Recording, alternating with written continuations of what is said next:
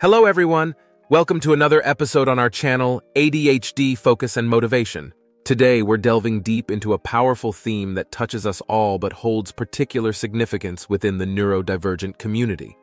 Embracing failure as a path to progress and success. Whether you're a parent of a neurodivergent child or an adult navigating life's complexities, this exploration into the nature of failure will equip you with strategies to turn setbacks into stepping stones toward success. In our culture, failure is often seen as a final, negative outcome, a stigma that can lead to avoiding challenging pursuits altogether. Let's challenge this view and redefine failure as an essential component of learning and growth. Scientifically, when we fail, our brain is activated in areas that oversee problem solving and critical thinking, undergoing what neuroscientists call synaptic pruning. This process involves the brain refining itself, making stronger connections while letting go of the less useful ones. To help your neurodivergent child understand this, use analogies they can relate to. For instance, compare the brain to a garden that needs weeding to allow new flowers to bloom.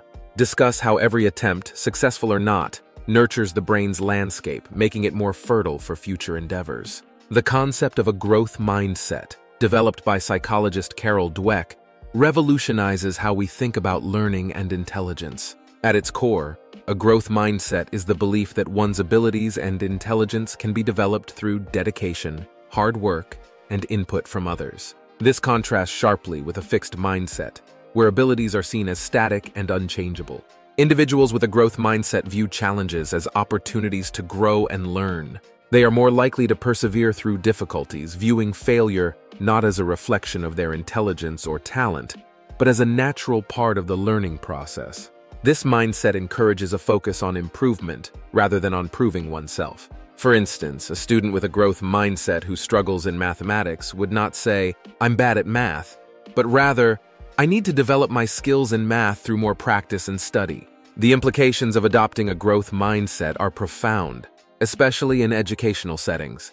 Educators who cultivate a growth mindset in their classrooms encourage students to take on challenges, persist in the face of setbacks, and view effort as a path to mastery.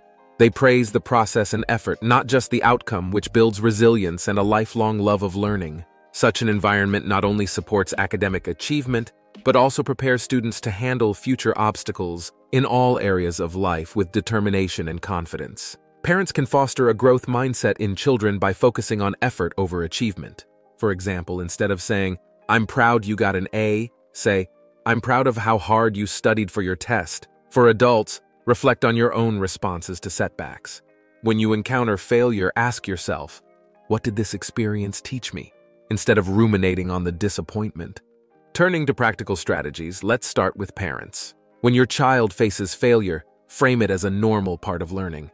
Create a failure is progress chart where each setback is followed by brainstorming potential solutions.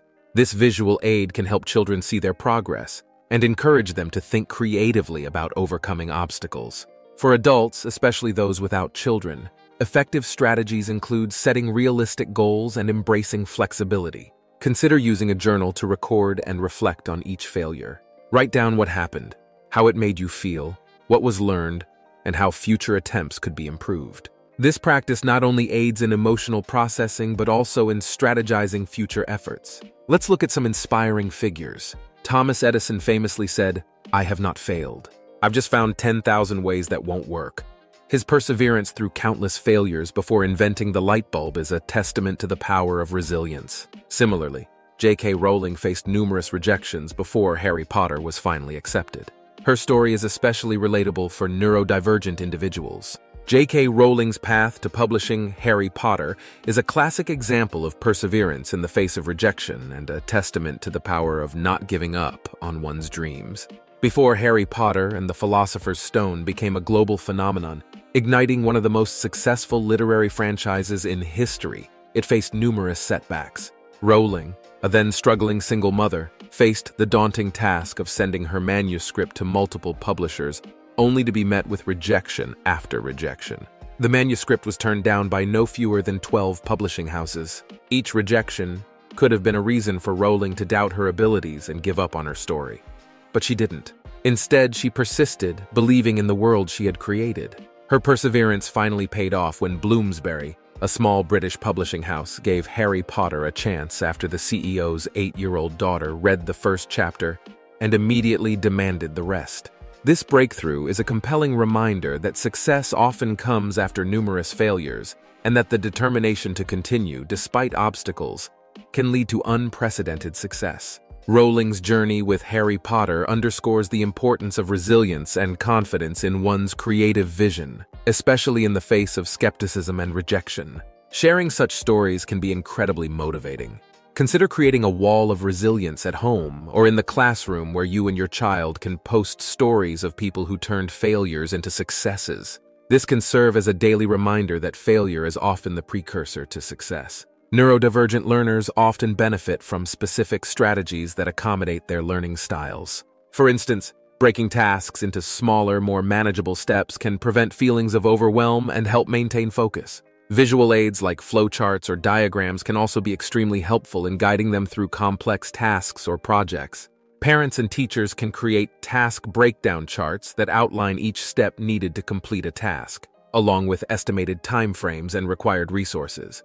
This method not only clarifies the task, but also instills a sense of accomplishment as each step is completed. Lastly, the environment around us plays a crucial role in how we perceive and react to failure. For both children and adults, having a supportive network, whether family, friends, or professional help, can make a significant difference. This support system should encourage open discussions about failures and successes alike, fostering an atmosphere where setbacks are not feared but seen as natural steps in the learning process. In conclusion, embracing failure as a natural and beneficial part of the learning journey can dramatically change how we approach challenges and setbacks. Remember, each failure sheds light on areas that need improvement and ultimately paves the way for success. Keep pushing forward, keep learning, and turn each setback into a stepping stone towards achieving your goals. Thank you for joining us today on ADHD Focus and Motivation. If this video has inspired you, please like, subscribe, and share it with others who might benefit. Stay motivated and stay well.